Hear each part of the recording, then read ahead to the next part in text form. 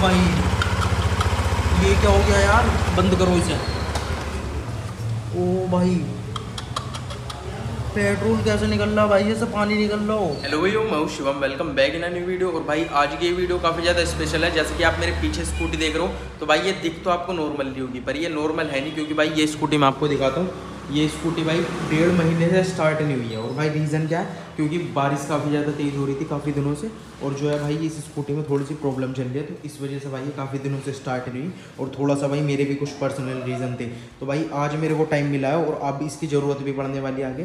तो अब देखते हैं भाई ये स्कूटी स्टार्ट होगी या फिर नहीं। और भाई ये चीज़ वैसे इतने दिनों से खड़ी थी तो अब जैसे मैं इसमें चाबी लगा रहा हूँ ना तो भाई मीटर में कोई भी, देखो मैं ऑन करूँगा तो मीटर में कोई भी लाइट ही नहीं आ रही। है तो खैर मेरे को इस चीज़ की तो उम्मीद थी। अब फ़िलहाल भाई इसे स्टार्ट करके देखते हैं। क्या ये ऐसे स्टार्ट हो जाएगी या फिर भाई से मैकेनिक के पास ही लेके जाना पड़ेगा? जहाँ तक मेरे को लगता है भाई ये ऐसे स्टार्ट हो जाएगी। इससे पहले तो भाई मैं इसे मेन स्टैंड पर लगा देता हूँ। काफ़ी सारी किक मारी है भाई, अभी तक स्टार्ट नहीं है पर एक चीज़ है, देखो, जैसे मैं इसमें किक मार रहा हूँ ना तो इसकी जो मीटर में लाइट है, वो जल जाती है, देखो। भाई, वैसे भी जो इसकी बैटरी है ना, वो वैसे भी नहीं है। अभी से जैसे ये स्टार्ट हो जाएगी, इसे थोड़ी बहुत मैं चलाऊँगा तो इसकी बैटरी ऑटोमेटिकली चार्ज हो जाएगी। अरे भाई, ये क्या हो गया यार?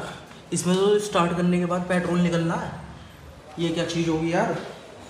भाई, मैं कह रहा पेट्रोल की इतनी बुरी बदबू कहाँ से आ रही है? पता नहीं कहाँ से पेट्रोल लीक हो रहा। जरा चेक करता हूँ पेट्रोल में भाई फ्यूल टैंक में। झटके ज़्यादा खाली है क्या? फ्यूल टैंक में यार, वैसी पेट्रोल बहुत ज़्यादा कम है। अब देखता हूँ, अगर दो मिनट में ये बंद हो जाएगा तो सही है। पता नहीं एक्सेस पेट्रोल है क्या है। भाई, यहाँ पे तो काफ़ी ज़्यादा पेट्रोल निकल गया। अब इसे थोड़ी सी आगे करता हूँ। भाई, इसमें चिंगारी। तो भाई, इसे थोड़ी सी आगे करता हूँ और आगे होकर स्टार्ट करता हूँ, वरना तो अगर यहाँ पे चिंगारी लग गई ना तो भाई आगे पकड़ लेगा ये। और पेट्रोल है यार ये।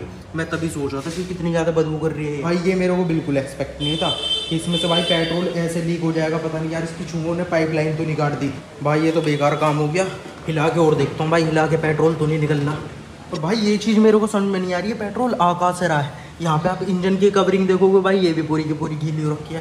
पूरा का पूरा पेट्रोल लिया रखा है यहाँ पे, देखो आप। ये देखो भाई, जो पूरा का पूरा इंजन है ना भाई ये गंदगी जो लगी हुई है, यहाँ से पूरा गंदा हो रहा है। ऐसा थोड़ा ना होता है यार, अगर इतने दिन तक स्कूटी ना चलाए तो पेट्रोल होने का क्या मतलब है? भी फिसल भी जाता मैं भाई, इतना ज़्यादा चिकना है और अभी से दोबारा स्टार्ट करके देखता हूँ एटलीस्ट स्टार्ट हो जाए। तेल है यहाँ पे, तेल लीक हो गया ऐसे स्टार्ट कर रहा था ना। तेल लीक हो गया। कोई नहीं पोछा लगा देना हो जाएगा सही। तो सारे में कर रखी अब सारे पैर लगा लगा के घर में पड़ेगा इसे सफ़ा ना करूँगी तो मैं? हाँ तो कर। सारा पेट्रोल साफ़ कर दिया भाई नीचे का और अब ये स्टार्ट नहीं हुई ना भाई।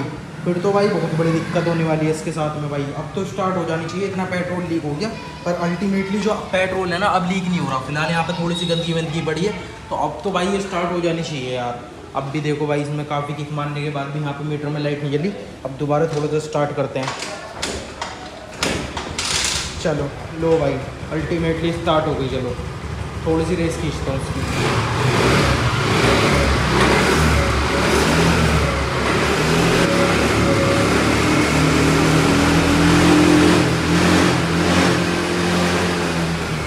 थोड़ा देख लेते हैं भाई, कभी पेट्रोल अब तो नहीं आ रहा। भाई, ये तो बहुत लीक हो रहा है पेट्रोल इसमें इंजन में से आ रहा है भाई पेट्रोल ओ भाई, ये क्या हो गया यार? बंद करो इसे।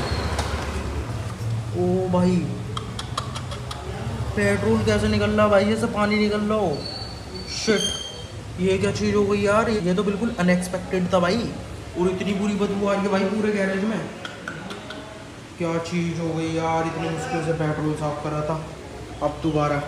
भाई, ये तो बहुत बड़ी गड़बड़ हो गई अपनी स्कूटी में।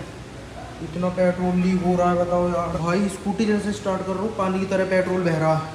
ऐसी क्या दिक्कत आ गई? यार, कोई पाइप वाइप कट गया यार इसका तो। ये तो भाई सोचा गया था और निकला गया मैं तो स्कूटी स्टार्ट करने के लिए चला जस्ट कि काफ़ी दिनों से भाई खड़ी है और भाई इसमें तो बोले पेट्रोल की धारा बह रही है, जैसे नदी बह रही है ना ऐसे। हमने जैसे पेट्रोल के कुएँ खोद रखे हों। यार, ये तो बहुत ज़्यादा अल्टीमेट चीज़ हो गई यार, अब इसे कैसे हैंडल करना? देखा जाएगा यार। स्कूटी जो है स्टार्ट तो होगी इंजन तो बिल्कुल सही है, पर भाई पेट्रोल कहीं से लीक हो रहा है? ये बहुत बड़ी चीज़ हो गई यार अपने साथ में। इंजन तो बिल्कुल सही है भाई, एक महीने बाद भी, पर जो पेट्रोल है भाई, वो बहुत कैडे तरीके से लीक हो रहा है वो बिल्कुल भी हाथ में, वो बिल्कुल भी हाथ में नहीं आ रहा। और एक बार और मैं आपको इंजन दिखा दूँ, देखो, ये सारे में से यहाँ से लीक हो रहा है देख रहे हो आप गीले पार्ट सारा भाई पेट्रोल बिल्कुल पानी की तरह बह रहा है। चलो यार, इसे और स्टार्ट नहीं करता, कभी इसमें चिंगारी गलती से चली जाए स्पार्क प्लग की, और भाई इसमें आग ले जाए। तो इसे जल्दी से साफ़ करता हूँ। बाकी इसी के साथ में यहीं पे एंड करते हैं आज की इस वीडियो को। अगर वीडियो पसंद आए तो वीडियो को लाइक और चैनल को सब्सक्राइब ज़रूर से कर लीजिएगा।